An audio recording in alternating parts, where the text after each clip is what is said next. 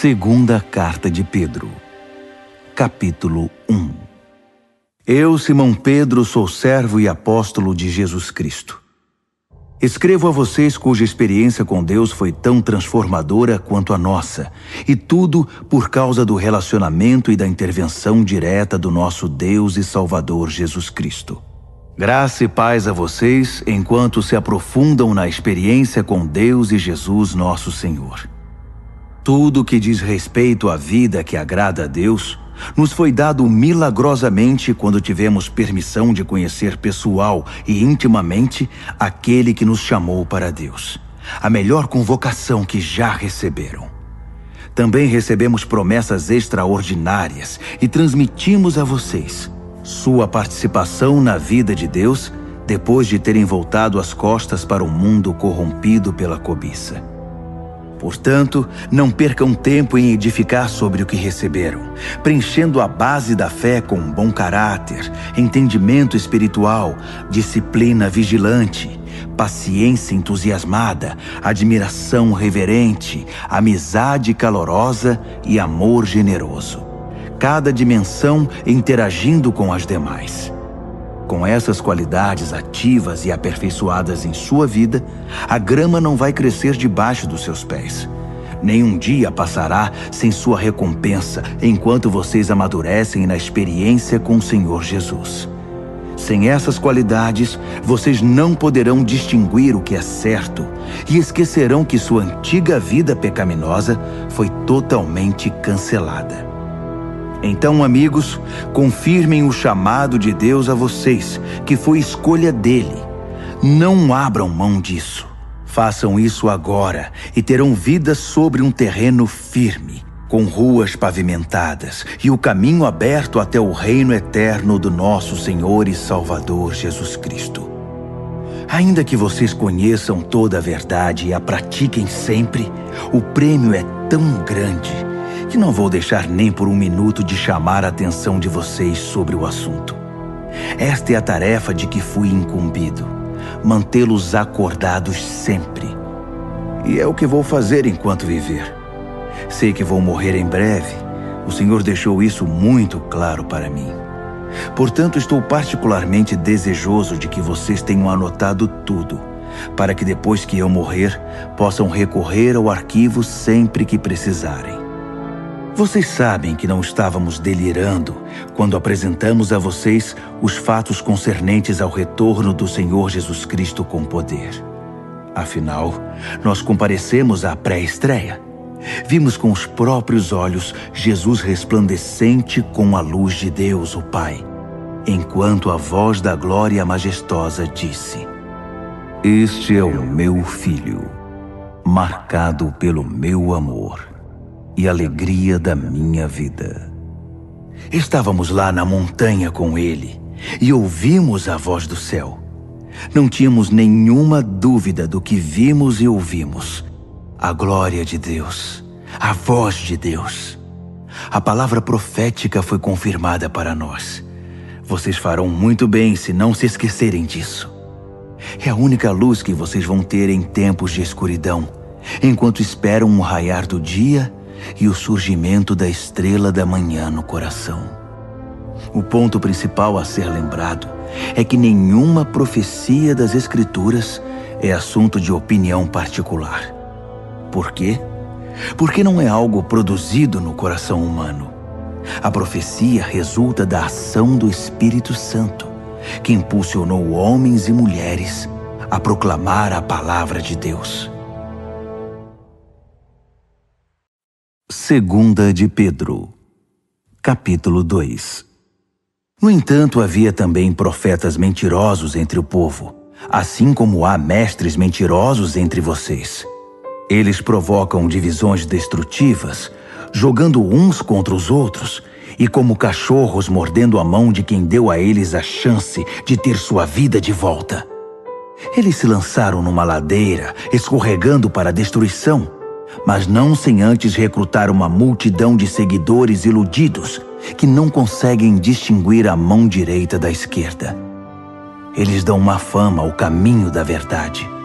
Só se preocupam consigo mesmos e jamais dirão nada, nada que traga algum benefício. Só querem explorar vocês. É lógico que não ficarão impunes. Eles caminham para o precipício, porque Deus nunca esteve do lado deles e não permitirá que essa situação continue indefinidamente.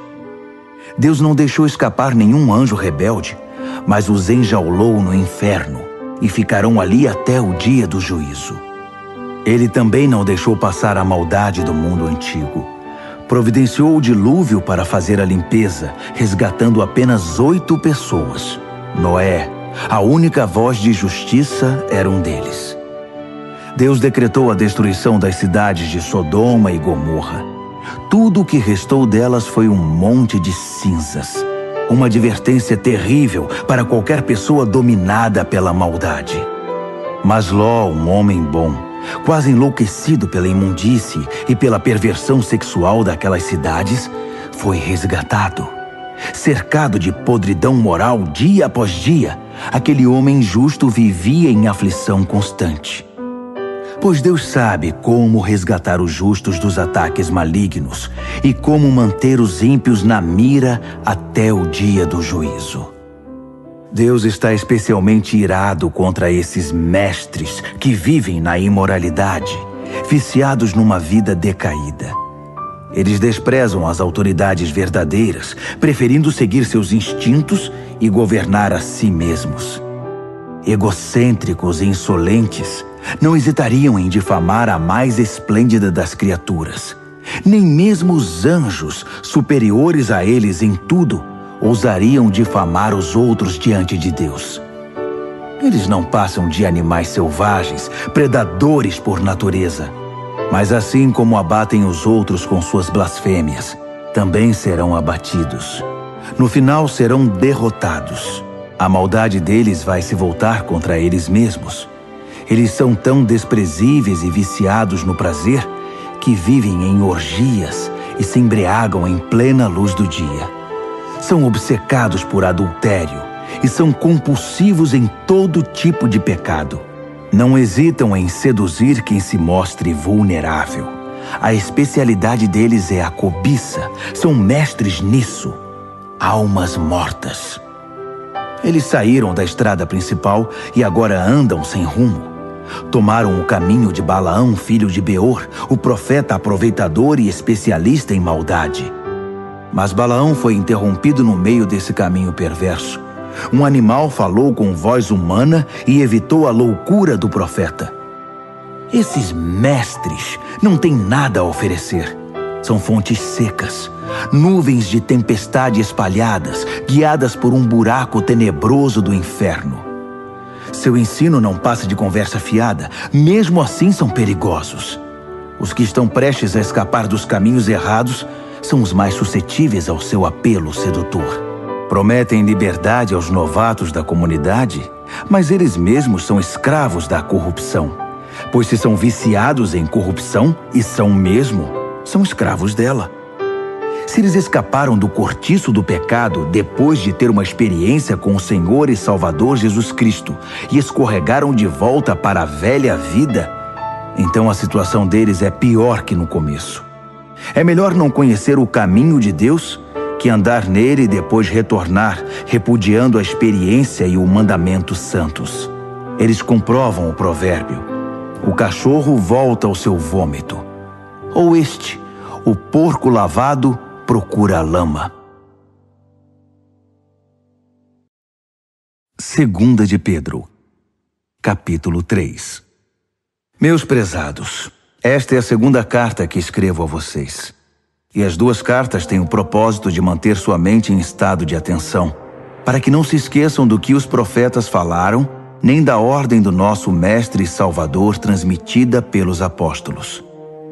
Para começar, vocês precisam saber que nos últimos dias, os zombadores viverão os seus anos de glória. Reduzindo tudo ao nível mais baixo, eles nos provocarão. Então, o que aconteceu com a promessa da vinda de Cristo? Nossos antepassados estão mortos e enterrados, e tudo está como sempre esteve desde o primeiro dia da criação. nada mudou. Eles convenientemente terão se esquecido de que muito tempo atrás todas as galáxias e o nosso planeta foram trazidos à existência do caos das águas pela palavra de Deus. E ela trouxe o caos de volta no dilúvio que destruiu o mundo. As atuais galáxias e o mundo são o combustível para o incêndio final.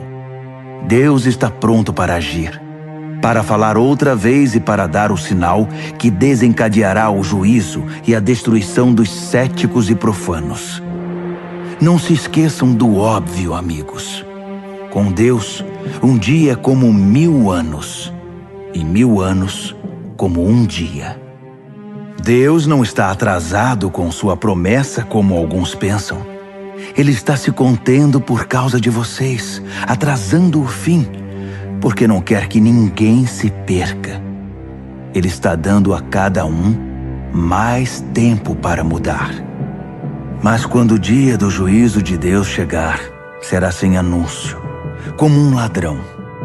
O céu entrará em colapso com um estrondo ensurdecedor, e tudo desaparecerá num incêndio imenso.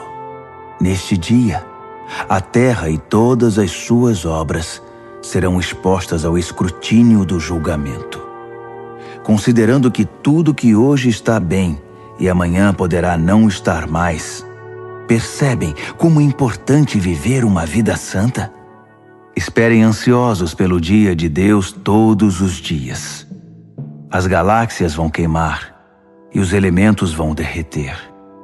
Mas nós mal o perceberemos, porque estaremos de olho em outro caminho, na expectativa do prometido novo céu e da prometida nova terra, todos adornados pela retidão. Portanto, meus amigos, isso é o que vocês devem esperar, fazendo o possível para que sejam encontrados vivendo em pureza e paz. Interpretem a restrição paciente do nosso Senhor pelo que ela é: salvação.